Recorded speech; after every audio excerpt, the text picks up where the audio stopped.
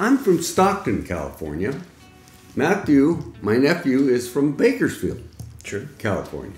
You don't really need to have to say California after either Stockton or Bakersfield because there's no other places like them. True. Um, we started playing music. He started when he was little. I started when I was about 19, and uh, just wanted to be able to play something that sounded decent and uh, just practice and practice and practice. And Matthew grew up and learned to play. He seems to think I taught him. I don't really remember teaching him much, But because he didn't need. You know, he's a quick learner. But uh, we play mostly uh, rock. People say rockabilly, blues, and uh, R&B. So then it's the old style uh, American music.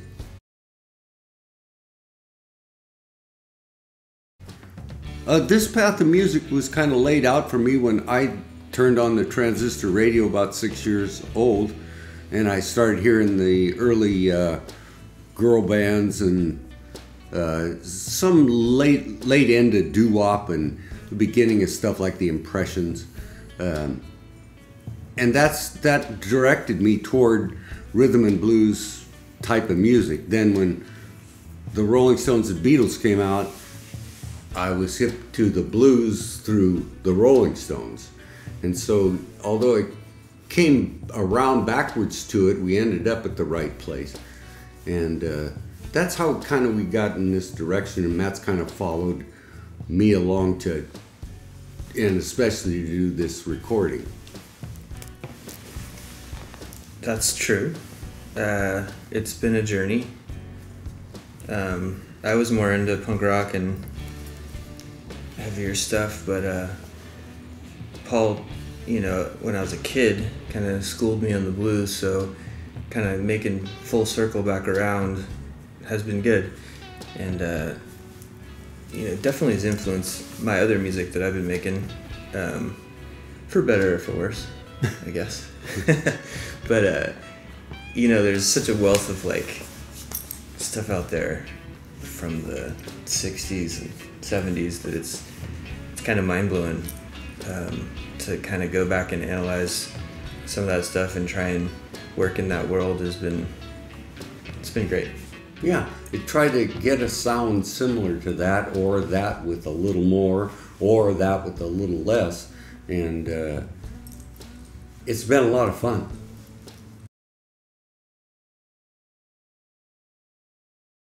Well, technology has come a long ways. In fact, now I actually uh, I didn't know what it meant until a couple months ago. Uh, Okay. but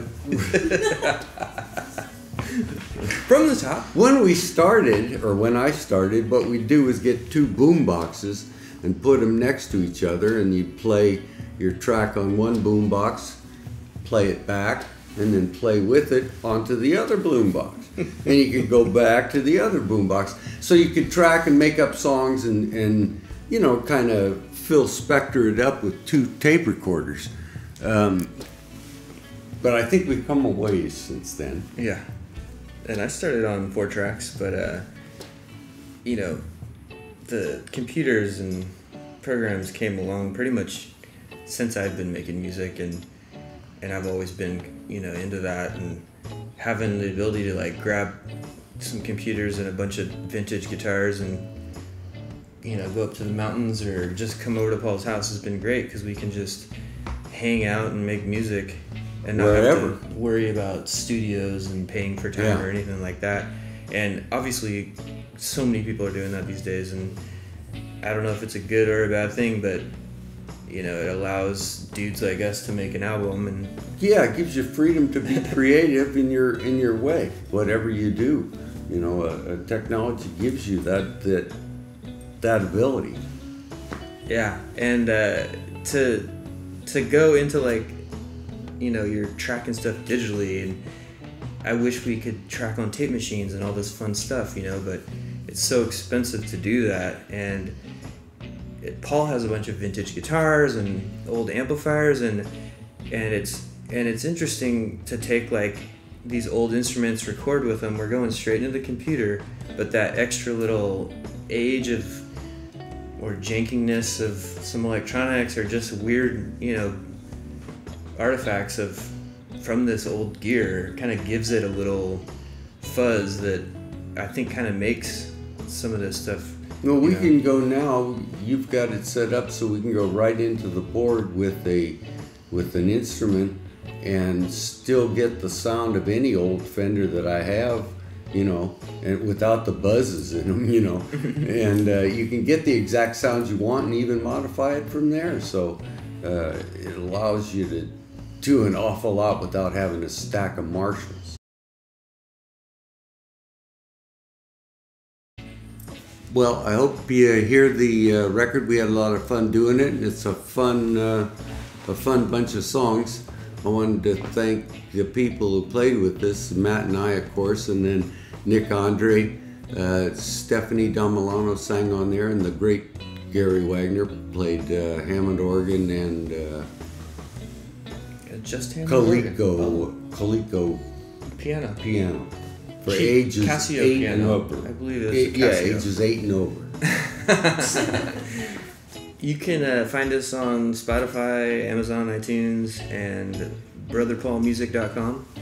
We're on Facebook as Brother Paul and Instagram as Brother Pablito. And that is handled by yours truly over here. So it is an interesting little social experiment. Uh, but check us out and uh, thanks for listening. Good night.